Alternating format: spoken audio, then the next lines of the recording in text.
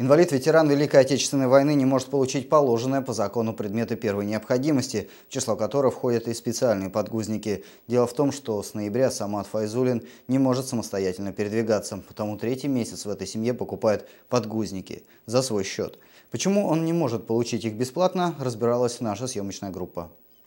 Привозят уже упаковками в стопках, то есть когда человек уже умирает. Ему эти памперсы не нужны. Когда-то за нее жизнью рисковал, а сейчас Родина о нем не вспоминает. Так говорит сын ветерана Великой Отечественной войны и инвалида второй группы. Его отец уже три месяца не может передвигаться. Понятно, почему в этой семье особый спрос на подгузники. Платим справные налоги, и мы должны а, всегда рассчитывать на государство. А получается так, что государство о нас совсем не думает. Звонишь в мэрию, да, звонишь руководству города и говоришь, «А, ну надо. А они говорят ну ждите.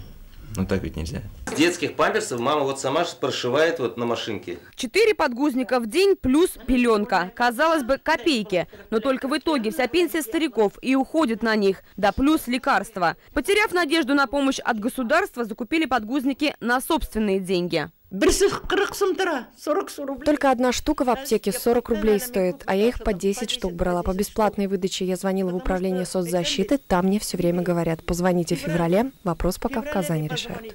В январе Самат Файзулин свои положенные по закону подгузники не получит. Честно признались в Челнинском управлении социальной защиты. Дело в том, что заявление от него на бесплатное обеспечение абсорбирующим бельем было написано 12 декабря. А для того, чтобы его включить в список получателей, требуется больше времени. Есть определенные сроки для того, чтобы э, обработать заявку, для того, чтобы э, включить списки, для того, чтобы найти поставщиков, заключить контракты. Сейчас, к сожалению, это очень сложная и длительная процедура, которая занимает до полтора месяца. Также есть альтернатива, добавляет Мария Белова. Вместо того, чтобы ждать, можно приобрести подгузники за свой счет а комплексный центр возместит ему стоимость подгузников. 17 рублей за штуку – это максимальная сумма, которая может быть компенсирована, при том, что в среднем цена по городу около 30 рублей. Эльвира Салахова, Дмитрий Кравченко, РЕН-ТВ, Набережные Челны.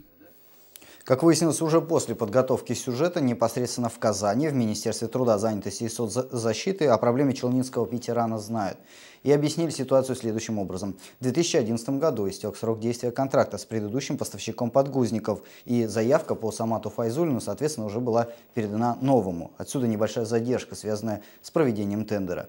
Таким образом, челнинский ветеран в реестр уже включен и будет обеспечен всем необходимым средствами до конца января. Так же, как и остальные татарстанцы, кому полагается такая помощь. Перебоев быть не должно.